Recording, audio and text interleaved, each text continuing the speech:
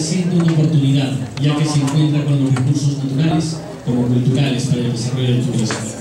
El atractivo principal de Lampa es el majestuoso templo, que lo vamos a ver y de repente muchos de ustedes ya lo conocen. La réplica de la piedad con las catacumbas. Y Lampa tiene para desarrollar el turismo, el cual es el turismo cultural. También tiene mucho potencial para desarrollar el turismo de aventura y turismo rural. Antes de entrar eh, a, los recursos turísticos, vamos a ver la delimitación geográfica de la provincia de Lampa. Han de saber todos ustedes que Lampa eh, es provincia y distrito. Lampa cuenta con 10 distritos en la actualidad. Y en la creación política de Lampa, que ha sido en el año de 1825, Lampa era mucho más grande. Vemos el mapa del Perú, donde está el departamento de Puno, y donde se encuentra en el mapa del departamento de Puno la provincia de Lampa. Limita geográficamente con Arequipa, con Cusco y con las provincias de San Román y de Casañón. Les decía que Lampa en su creación política fue mucho más grande que lo que ahora es.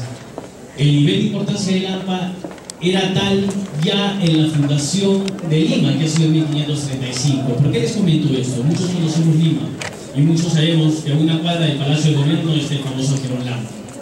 ¿Ah? Ya desde la fundación española de Lima, que ha sido en 1535. Cuando Pizarro dice que funda Lima, da el nombre a las calles mientras más cercanas sean al Palacio de Gobierno, que era la casa de Pizarro, era el nivel de importancia de esa provincia en esa época. Y a una cuadra, todos sabemos que se encuentra el famoso Jerón Importante por su minería y porque era el paso obligado al Cusco.